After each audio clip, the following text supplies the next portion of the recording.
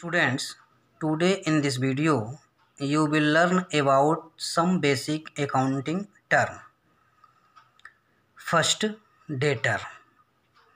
Debtor represent those person or firms to whom goods have been sold or service rendered on credit and payment has not been received. Student, when goods are sold on credit basis and payment does not receive immediately, in that situation debtor is created. Means जब हम उधार सामान बेचते हैं और उसका payment हमें तुरंत नहीं मिलता है कुछ समय बाद मिलेगा। ऐसे में जिसको हम उधार सामान बेचे हैं चाहे वो व्यक्ति हो चाहे वो फर्म हो वो हमारे डेटर होते हैं।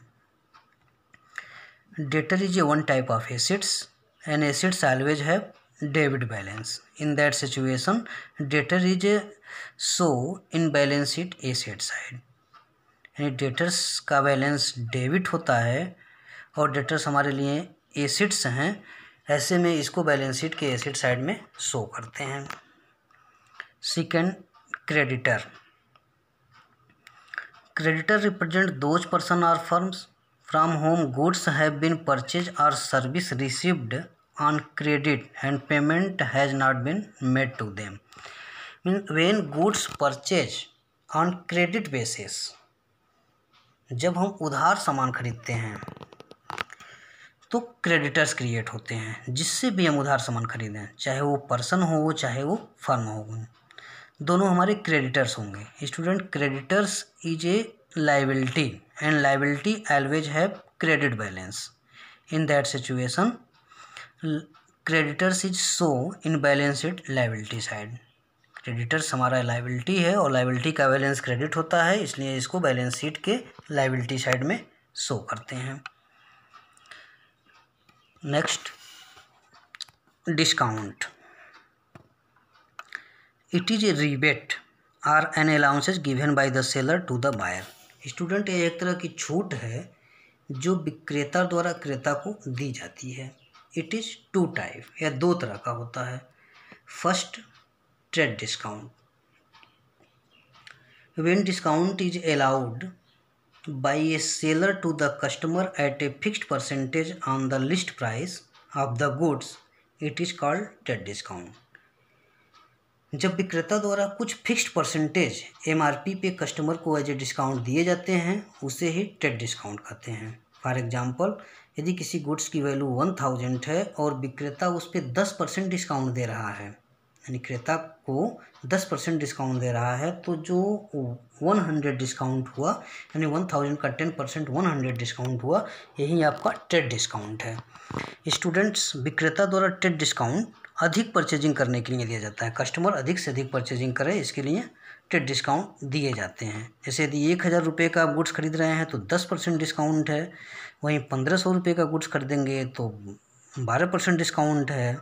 दो हज़ार का खरीदेंगे तो पंद्रह परसेंट डिस्काउंट है। इस तरह से कस्टमर को मोटिवेट किया जाता है कि वो अधिक से अधिक गुड्स परचेज करें और अधिक से अधिक डिस्काउंट रिसीव करें। स्टूडेंट ट्रेड डिस्काउंट की कोई एंट्री अकाउंटेंसी में नहीं होती है, यानी गुड्स परचेज करते समय विक्रेता से जितना पैसा आप कम करा लेंगे, वहीं ट्रेड डिस्काउंट है। Next cash discount when discount is allowed to the customer for making payment it is called cash discount जब विक्रेता क्रेता को पेमेंट करने के लिए डिस्काउंट देता है। यदि आप जल्दी पेमेंट करेंगे within a week payment कर देंगे तो आपको टू परसेंट डिस्काउंट दे दिया जाएगा। तो इस तरह के डिस्काउंट को कैश डिस्काउंट बोलते हैं। यानी जब पेमेंट करने के लिए कस्टमर को इनक्रेज किया जाता है कि आप जल्दी पेमेंट करिए और पूरा पेमेंट करिए, उसके लिए जो डिस्काउंट दिया जाएगा वो कैश डिस्काउंट है। स्टूडेंट कैश डिस्काउंट की एंट्री अकाउंटेंसी में करते हैं और ट्रेड डिस्काउंट की एंट्री अकाउंटेंसी में नहीं करते हैं। Next bad debts it is the amount debt has become irrecoverable from a debtor student जब हम उधार गुड्स बेचते हैं when goods are sold on credit basis some debtor is not good कुछ डेटर्स गुड अच्छे नहीं होते हैं, यानी वो पैसा नहीं देते हैं। तो जो पैसा कस्टमर से नहीं मिलेगा, वही बेड डेप्स है। और ये बिज़नेस के लिए एक तरह का लॉस है। इसको पीएल अकाउंट के डेबिट साइड में लिख करके राइट ऑफ़ करते हैं, समाप्त करते हैं। Next capital expenditure any expenditure which is incurred in acquiring or in increasing the value of fix assets is termed as capital expenditure students fix assets increase करने में या फिक्स एसेट्स परचेज करने में जो पैसे एक्सपेंस होंगे, वही हमारे कैपिटल एक्सपेंडिचर हैं। फॉर एग्जांपल बिल्डिंग परचेज करने में लैंड परचेज करने में फर्नीचर कंप्यूटर ये सब जो फिक्स एसिड्स हैं fix assets are non current assets means which assets run in the business more than one year that is called fix assets ऐसे assets को परचेज करने में जो भी एक्सपेंसेज होंगे, वो हमारे कैपिटल एक्सपेंडिचर हैं। Next revenue expenditure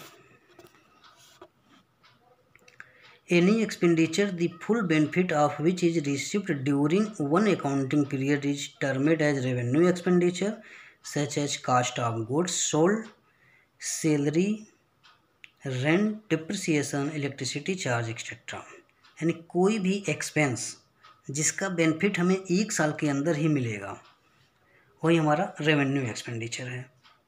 जैसे कास्ट ऑफ़ गुड्स सोल्ड जो गुड्स हम बेच रहे हैं, उसकी लागत क्या है? वो हमारा रेवेन्यू एक्सपेंडिचर है। Salary rent depreciation electricity charge ये सब हमारे रेवेन्यू एक्सपेंडिचर हैं। मीन्स जिसका बेनिफिट हमें एक साल के अंदर मिल जाए वो रेवेन्यू एक्सपेंडिचर है। या जिस गुड्स को हम खरीदते हैं बेचने के लिए,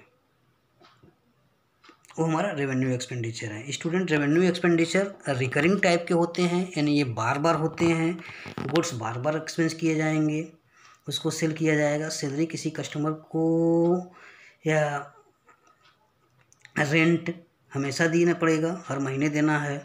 डिप्रिसिएशन फिक्स एसेट्स पे चार्ज होने ही होने हैं। इलेक्ट्रिसिटी बिल देने ही देने हैं। यानी जो एक्सपेंसेस रिकरिंग टाइप के हैं, यानी बार बार देने हैं, वो रेवेन्यू एक्सपेंडिचर हैं और जो एक्सपेंसेस कभी कभी होते हैं और फिक्स एसेट्स परचेज करने के लिए होते हैं, वो आपके कैपिटल एक्सपेंडिचर हैं। स्टूडेंट, ये सब कुछ बेसिक अकाउंटिंग टर्म थे। इसको आप अपने बुक से एक बार रीडिंग मार लीजिए, अपने कॉपी में लिख लीजिए। Thank you